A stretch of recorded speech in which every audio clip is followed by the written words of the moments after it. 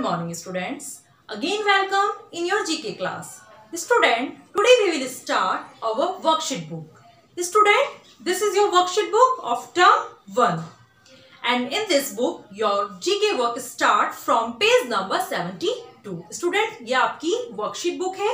इसमें हम page number 72 से जीके का वर्क स्टार्ट करेंगे today we will take chapter number one and the chapter name is plant and animal kingdom आज हम चैप्टर वन स्टार्ट करेंगे। हमारे चैप्टर का नेम है प्लांट एंड एनिमल किंगडम यानी कि प्लांट और एनिमल का साम्राज्य। In this exercise state whether these statements are true T or false F इसमें आपको स्टेटमेंट को रीड करना है। यदि स्टेटमेंट सही है ट्रू है तो आपको टी राइट करना है। यदि स्टेटमेंट रॉन्ग है फॉल्स है तो आपको एफ़ राइट करना है। Let start number one is daisies can be white purple और येलो इन कलर जो डेजिस फ्लावर है, क्या वो व्हाइट पर्पल और येलो कलर में हो सकता है? Yes so you write here true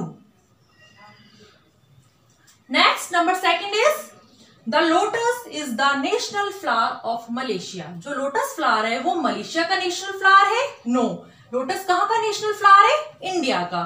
So you write here false next is emu is the largest flightless bird in the world flightless जो उड़ नहीं सकता, यानी ना उड़ने वाला बर्ड जो ईमू है, वो वर्ल्ड का सबसे लार्जेस्ट ना उड़ने वाला बर्ड है?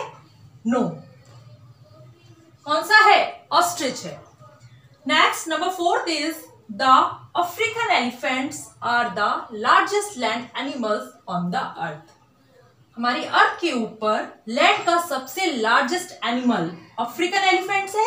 Yes so you write here true next number fifth is tigers are the only cats that live in groups tigers एक एकमात्र, यानी एक मात्र केवल एक ऐसी कैट है जो कि ग्रुप में रहती है?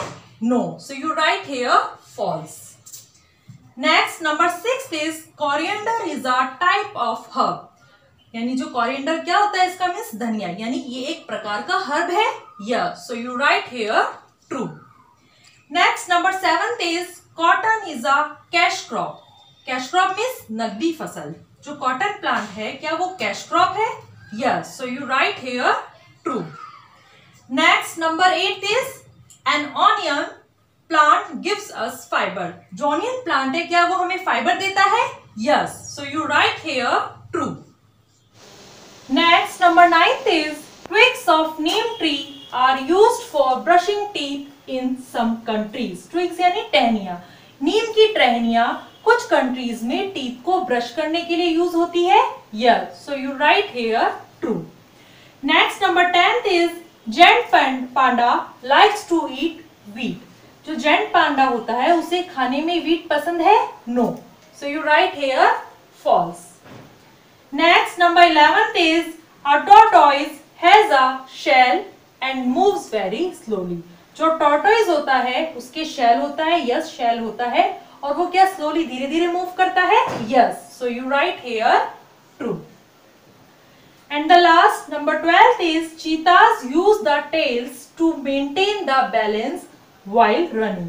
जो चीता होते हैं चीताज होते हैं, वो जब रन करते हैं, दौड़ते हैं तो वो अपना बैलेंस बनाने के लिए बैलेंस को मेंटेन करने के लिए टेल का यूज़ करते हैं, अपनी पूछ का यूज़ करते हैं? नो.